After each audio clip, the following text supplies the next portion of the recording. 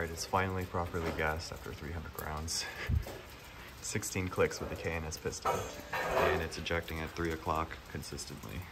The first time ever the AK has consistent ejection.